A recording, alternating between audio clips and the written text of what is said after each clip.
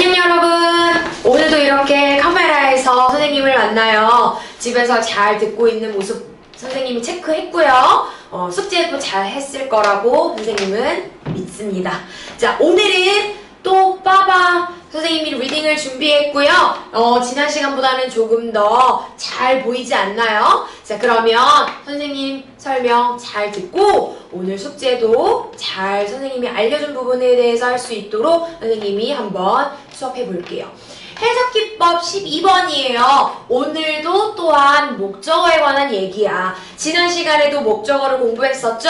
목적어가 의문사가 이끌고 나오는 절의 형태로 나왔을 때 우리가 그거를 어떻게 해석하는지 그치?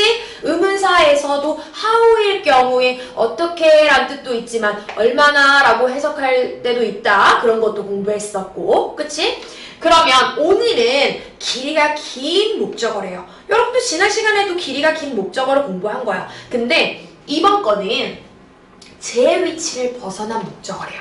자, 목적어의 자리는 원래 어디 나와야 가장 아름답습니까? 그치요. 동사 뒤에 나와야 아주 아름다운 문장이 되잖아요. 그치? 그래서 목적어는 보통 어떻게 해석했죠? 을, 를, 그치? 무엇 무엇 하는 것을. 이런 식으로 을 를로 해석해줬던 걸 기억해. 근데 동사의 뒤에 목적어가 아닌 것 같아. 어, 이거는 약간 수식어고라든지 아니면은 뭐 갑자기 들어간 뭐 다른 문장이라든지 어쨌든 목적어가 아닌 것 같은 수상한 아이가 나왔다. 그러면 한번 을르를 넣어서 해석해 보세요. 이게 을르로 해석이 되는지 안 되는지를. 오케이? 그러면 목적어의 자리는 우리가 평소에 공부했듯이 무조건 동사 뒤에 나오는 게 아니고 중간에 수식어구들이 추가가 되면 뒤에 갈 수 있다는 점 그리고 또한 목적어를 강조하고 싶으면 주어와 동사 앞에도 나올 수 있는다는 점을 오늘 공부 한번 해보고 그거에 맞춰서 오늘 독해를 한번 진행해 보려고 해요. 그러면 자 한번 읽어볼게. 목적어에 수식어가 여러 개 붙어서 길이가 길어지면 어디까지가 목적어인지를 파악하기가 어렵습니다. 방금 설명했던 부분 목적어가 동사 바로 뒤에 오면 너무 아름다운 절이 되지만 그렇지? 문장 맨 앞에 놓이거나 이걸 어떻게 됐다고 해요? 그렇지? 도치가 됐다고 하거나 동사와 목적어 사이에 다른 어구들이나 다른 절들이 삽입되어서 의미 파악에 어려움을 주기도 합니다. 그렇기 때문에 오늘은 선생님이 주어, 동사, 목적어 사이에 나오는 여러 가지 수식어구, 그치? 다른 어구들이나 절들을 한번 체크해 가면서 어, 천천히 한번 해석을 해볼게요. 그러면 A 한번 봐볼게요. You can't imagine 이렇게 얘기했어. 너는 상상할 수 없을 거야. 주어 동사가 바로 나왔네. 그러면 우리가 어떻게 생각해? 너는 상상하지 못할 거야. 그러면은 뭐를? 그치? 목적어가 궁금하잖아. 그래서 이렇게 how much you are going to learn 이라는 목적어가 바로 붙었어요. 이 정도는 아주 야무해요. 그리고 how much 하면은 어떻게가 아니고? 어떻게? 얼마나 그치 얼마나 많이 you are going to learn? 배우게 될지. 배울 것인지 너는 상상도 못할 거야. 그러면 about yourself 하면은 뭐예요? 그렇지? 너의 자신에 대해서. through these three week courses 하면은 세, 이 물통에서 이 세 주 그러니까 3주의 코스를 통해 너의 자신에 대해서 너가 얼마만치 배울지는 너는 상상도 못할 거야 라고 해석을 해주시는 거예요. 이렇게 아주 쉬워요. 그리고 number C를 한번 봐볼게요. 저 writer ruins라고 얘기했네. 자, 그 작가는 ruins 하면 망쳤습니다. 자, 그렇게까지 나왔어. 그러면 어? 망쳤다고? 뭐를? 목적어가 필요하잖아. 그치? 근데 이거 봐봐.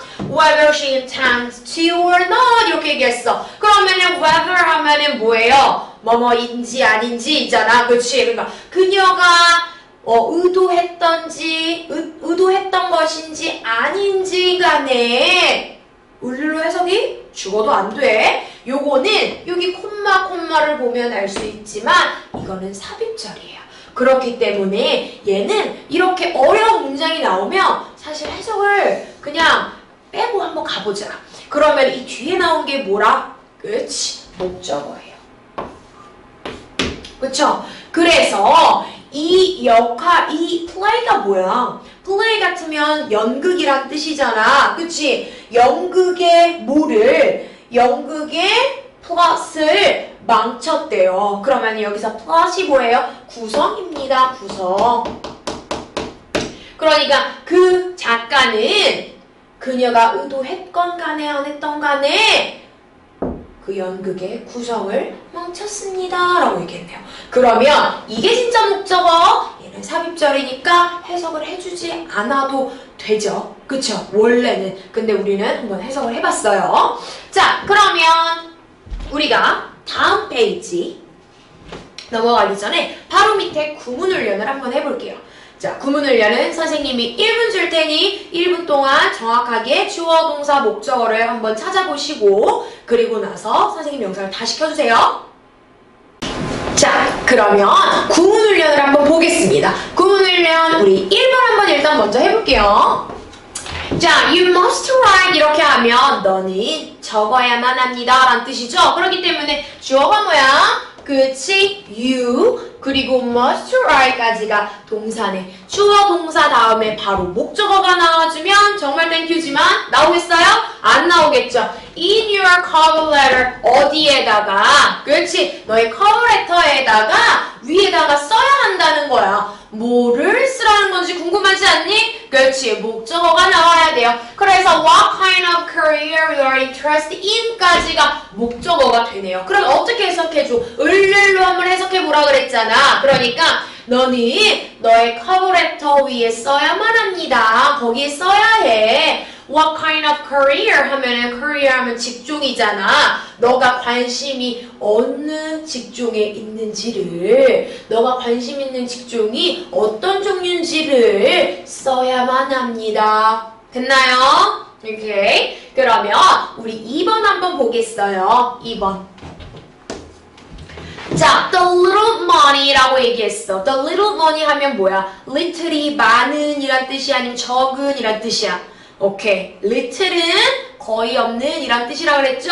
부정으로 해석해 주라고 선생님이 지난 시간에 빠바 시간에 공부했던 것 같아. 그러니까 거의 없는 돈이에요. 근데 that he had라고 나왔어. 자, 이 that은 누구를 설명해 주고 있지? 그렇지요. money를 설명해 주는 거야. 그러니까 그가 가진 거의 없는 돈으로가 뭐가 돼요? 그렇지. 주어가 되는 거야. He spent. 어. 봐봐. 얘들아. 주어가 될 수 있어 없어? 원래 우리 이렇게 하면 바로 어 주어야 하면서 동사가 딱 나와야 되는데 동사가 없지. 그러므로 이거는 주어가 아니네. 자, 뭔지 한번 볼게요. 그럼 선생님 he가 주어네요. 그치? he가 주어. spent 하면은 쓰다란 뜻이지 뭘 썼을까? on rice 쌀을 썼을까? Inexpensive vegetables 하면은 비싸지 않은 야채를 썼을까? and spices 하면은 양념들을 썼을까?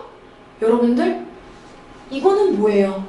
그렇지 이거는 목적어가 아니에요 그러면 주어 동사 그리고 the little money that he had가 목적어가 되는 거야 그러면 어떻게 해석하는지 볼게요.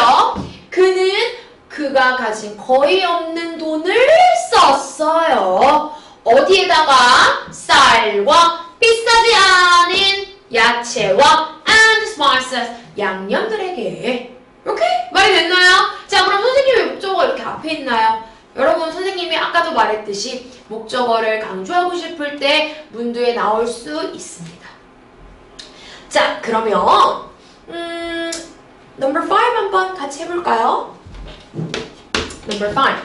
The student president 하면은 누구예요? 그렇지, 학생 회장이야. 그 학생 회장은 explained 하면 뭐예요? 그렇지, 설명했어요. 자, 그러면 뭐를 설명했을지 바로 목적어가 나오는지 한번 볼게. To her fellow students 하면은 자, 딱 봐도 아니라 설명해 동료의 학생들 그녀의 동료의 학생들을 설명해. 아니죠. 에게 설명하는 거야. 수식어 그렇지 그러면 뭐예요? How she intended to improve the school. 어 여기서 how는 어떻게 란 뜻일까? 아니면 얼마나 란 뜻일까? 그렇지.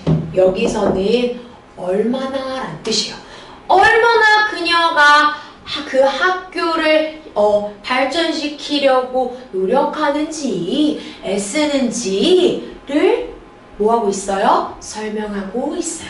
그러면 how부터 여기까지가 뭐가 되겠어요? 목적어가 되는 거예요. 이렇게 아시겠죠? 그렇기 때문에 우리가 목적어가 이렇게 앞, 이 중간에 전명구들이 이렇게 많지만 가로를 치고 진짜 목적어를 찾아보는 걸 공부했으니까 오늘 본문에서도 분명히 여러분들 잘 할 수 있을 거라고 생각이 들어요. 그러면 음, 다음 페이지 자, 여러분들 질문 풀어보셨죠? 그러면 선생님이랑 같이 7번을 한번 해석해 볼게요. What if 하면 무슨 뜻이냐? 가정하는 거야, 얘들아. 가정하는 거기 때문에 현재 사실에 대해서 어, 별로 가능성이 없는 걸 물어보기 때문에 지금 동사의 과거형이 나왔어요. 우리 가정법 공부할 때 공부했는데 기억나실까 몰라. What if는 사실상 진짜 의문문으로 물어보는 건 아니지만 어, 어순이 약간 달라요. 하지만 그냥 가정에서 한번 어, what if 하면 너가 뭐 당신이 뭐 주제가 뭐뭐라면 어, 어떨 것 같아? 라고 어, 질, 가정을 해서 질문을 한번 던지는 문장이에요. 그렇기 때문에 your book 너의 책이 안다면 뭐를 그치 where you are looking 그러면 이거는 바로 뭐가 돼요? 그쵸 목적어가 되는 거예요 너가 어디를 보고 있는지를 안다면 어떨 것 같아? 오케이? A German research team 한 독일의 연구팀은요 has developed 하면은 뭐야? 그치. 개발시켜 왔어요. 개발해 왔어요. 라는 현재 완료형이 되겠죠? 개, 개발해 왔습니다. 뭐를 개발해 왔을까? 궁금하죠 그치? 이제 목적어가 나올 차례야. A new eye tracking software. 이거를 그치? 뭐예요? 새로운 eye tracking 하면은 눈을 안구를 추적하는 소프트웨어래. 그러면 얘가 트래킹이 소프트웨어를 설명해주는 현재 분사야. 그러면 소프트웨어가 안구를 추적하는 거잖아. 그치? 그렇기 때문에 여기 현재 분사가 쓰였어요. 그럼 질문 하나 할게요. 이제 고등부 올라가서 I tracked software 이런 식으로 바꿔 나올 수 있는데 여러분들이 이게 능동과 수동을 잘 생각해서 맞출 수 있는지 여러분들 다시 한번 생각해 보세요. 여러분에게. 여기서는 소프트웨어가 직접 안구를 추적하기 때문에 현재 분사를 쓰였다는 점 알아두시면 돼요. 자, 누구를 위해 이 안구 추적 소프트웨어를 발명했을까요? For e-readers 하면 뭐예요? 태블릿이나 컴퓨터 같은 거를 이용해서 읽는 이 e-reader들을 위해서, 독자들을 위해서. 오케이? 자, while이라고 했네. 자, while 하면 무엇 무엇 하는 동안이 있고요. 반면에 란 뜻이 있잖아요. 그치? 여기서는 무슨 뜻일까? 한번 읽어볼까? 그치? 여기서는 무엇 무엇 하는 동안이에요. 그렇기 때문에 주어 동사가 나왔으므로 이 while을 during과 바꿨을 수 있다 없다? 없다. 그치요? 바꿀 수 없어요. 너가 읽는 동안 the software, 이 소프트웨어는 shines 하면 뭐예요? 그치? 비춥니다 라는 뜻이에요. 뭘 비춰? on infrared light 하면은 적외 선입니다. 적이 뭐야? 적. red잖아. 그치? 그렇기 때문에 여기 red가 있는 거야. 단어에. 오케이? 그래서 선생님이 어, ultraviolet 하면은 이거는 자외선이거든? 그럼 자가 무슨 자자야? 선생님이 좋아하는 자색 고구마 거기에서 자를 따온 거예요. 자색 고구마가 자색이 무슨 색이야? 그치? violet 색이에요. 보라 색깔. 여기서는 infrared light 하면은 적외선, 그치? 적외선을 비춰요. 그치? in your eyes. 어디에다가? 너의 눈 아래다가, 그치? 자외선을 비춥니다. 여러분들 자외선 나쁜 거 아니에요. 어, 붓기가 많을 때 뭐 자외선으로 이렇게 얼굴 붓기를 빼주는 것도 있고, 어, 여러분들이 어, 해롭다고 생각하는 건 어, 자외선, 적외, 어, 적외선이 아니고 자외선이 나쁜 거지. 그치? 그래서 소프트웨어, 소프트웨어는 이 소프트웨어는 비춥니다. 적외선을 너의 안구에. 오케이? 자, it use 그것은 use 사용합니다. 뭘 사용할까? The reflected reflect 하면은 뭐예요? 그치 반사시키다 라고 했잖아. 그치 그러면은 얘는 반사된 이렇게 뭐예요? 과거분사. 그치? 그것은 사용해요. 반사된 패턴을 사용하는데 그쵸? 어디에다가 to analogy 하면 이거 투부정사네. 그치? analogy 하면은 뭐예요? 분석하다. 그러면은 자, 이 반사된 패턴을 사용하는 이유가 나오잖아. 그치? 그러면 이거는 행동의 목적 무엇 무엇 하기 위해서라고 해석해주면 되겠죠? 분석하기 위해서 이 반사된 패턴을 사용한대요. 자, 뭘 분석할까? How quickly read 하면 얼마나야 어떻게요? 그렇지. quickly라는 뭐가 나왔으니까 부사가 나왔으니까 얼마나 빠르게 너가 읽는지를 where you pause 하면 어디에서 너가 pause 하면 멈추는지를 그렇죠? and 그리고 which part you read twice 하면 두 번이란 뜻이잖아. 그치? 그렇기 때문에 어느 부분을 너가 두 번을 읽었는지를 분석하기 위해서 이해되시나요? 자, this information 이 정보는 주어가 되겠죠. can then 그런 다음 can be used 사용되어집니다. 왜죠? 자, by the software 그 소프트웨어에 의해서 to enhance your reading experience 하면 뭐야? 뭘 하기 위해 사용하는 거야? 그렇지. enhance your reading experiences 하면 너의 독서 경험을 enhance 하면은 뭐야? enhance 하면 그치? 강화시키다. 여러분들 그러면 enhance는 이 본문에서 강화하다 이거 뭐로 바꿀 수 있어? 여기에 나온 단어 중에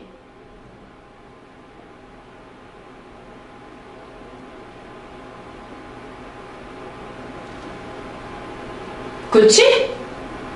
발달시키기 위해서 발전시키기 위해서 뭐로? 그렇지? develop 이렇게 바꿀 수 있겠네요. 그렇죠? To develop your reading experience 이렇게 바꿀 수도 있는 거야. 그치? 자, for example, 예를 들어 If the software sense you are lingering over a difficult word라고 얘기했네. 자, 여기서 if 만일 the software가 sense 하면은 감지하다란 뜻이야. 너, 어, 그 소프트웨어가 감지하면. 자, sense는 무슨 동사냐면 지각 동사예요. 지각 동사기 때문에 목적어 그리고 목적격보로 투부정사 나올 수 없다. 그렇죠? 그렇기 때문에 만일 그 소프트웨어가 너를 감지한다면 너가 뭐 하는 걸 감지하는 거야? linger 하면은 얘들아 어딘가에 머물다 라는 뜻이에요. 그러니까 장소에 머무는 것도 있지만 시선 같은 게 계속 오랫동안 머물고 있는 걸 linger이라고 얘기해요. 그렇기 때문에 너가 over a difficult word 하면은 뭐야? 그 어려운 단어 외에 단어 위에 너가 어 계속 시간을 머무르고 있다는 것을 감지하게 되면 it could 그것은 could automatically 어, 뭐 자동적으로 뭐 할 수가 있어요? provide 하면은 뭐예요? 그치 제공할 수도 있어. 여기 could와 provide가 동사. 뭐를 뭐를 제공해? a definition 의미를 제공할 수도 있대 여러분들 글을 읽고 있는데 단 이 소프트웨어가 너의 눈가를 보니까 너의 눈깔이 아 이거 뭐지? 어, 이 단어가 뭐였지? 라고 계속 보고 있다? 그러면 그걸 딱 감지하는 순간 그것은 자동적으로다가 의미를 제공할 수도 있대. 너무 좋지 않니? it 그것은 could also 또한 뭐 할 수도 있어? 도울 수도 있어요. With 하면은 발음. 그치? 갑자기 이렇게 보는데 이거 어떻게 읽었지? 그랬는데 갑자기 어, 그 소프트웨어에서 looking, looking 뭐 이런 식으로 발음을 제공하는 거야. 도와주는 거야. 그리고 offer 그리고 제공할 수도 있어요. foreign translation 하면은 뭐야? 외국어 번역을 제공할 수도 있어요. or 혹은 even 심지어 제공할 수도 있대. Fact 하면은 합쳐서 음양 효과. 그쵸? 음양 효과를 제공할 수 있어요. for sentences 하면은 어디에? 그치? 문장에 음양 효과도 제공할 수 있습니다. as you read them 이렇게 얘기했어. 자 여기서 as는 무슨 뜻일까? 때문에예요? 아니면은 뭐뭐 할 때예요? 그렇지 뭐뭐 할 때. 너가 읽을 때. 그것들을 읽을 때. 자, whatever 이게 가장 중요한 문장이게 해요. 왜? 좀 어려워요, 여러분들. 근데 여러분들 요거는 선생님이 여러분들 이제 3학년이니까 복합관계사 하면서 조금 더 어, 오셨을 때 어, 조금 더 지도를 할 테니까 일단은 오늘은 요런 문장을 어떻게 해석하는지만 reading 시간이니까 알고 갈게요. 그러면 whatever new reading experience this technology promises 했어. 그러면은 whatever는 여기 new reading experiences를 꾸며주는 관계 형용사예요. 오케이? 복합 관계 형용사. 그렇기 때문에 new reading experiences라고 얘기하면 새로운 독서 경험이잖아. 그치? 새로운 경험, 새로운 독서 경험이 whatever 무엇이든 간에 뭐걸 this technology 이 기술이 약속하다지 약속한 약속한 새로운 독서 기술이 독서 경험이 무엇이든 간에 you will surely 너는 확실히 분명히 benefit 하면 뭐예요? 음.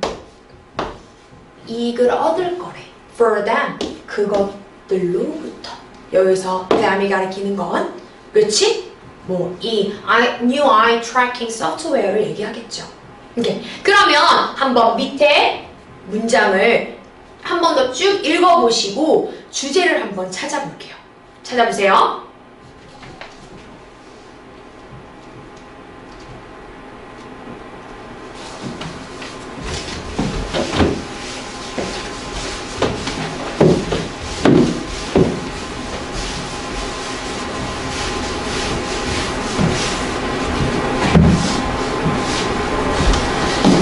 주제 찾았나요? 음, 오케이. 그러면 여기서 주제는 number 그렇지. 4.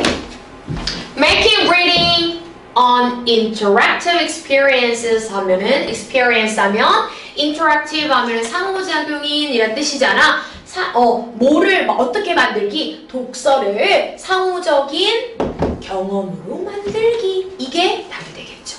오케이? 여러분들, 오늘 목적어 찾는 게 주요 목표였어요. 그렇기 때문에 우리가 항상 주어 동사 다음에 목적어가 나올 거라 같은 고정관념을 깨고 목적어가 주어 동사보다도 앞에 나올 수 있다는 점, 오케이? 강조하기 위해 도치될 수 있다는 점과, 그쵸? 그리고 음, 수식어구는 항상 가로치면서 우리가 많이 어려웠을 때 그거를 해석하지 않고 지나가더라도 수식어구는 가로치고 주어의 진짜 구성 요소인 뭐 주어 동사, 목적어나 보호 찾는 거에 우리가 심혈을 기울여서 열심히 하다 보면은 어, 우리가 조금 더 reading할 때 도움이 될 거라고 선생님은 확신합니다. 여러분들 집에서 이 밑에 챕터 끝까지 풀어보시고요.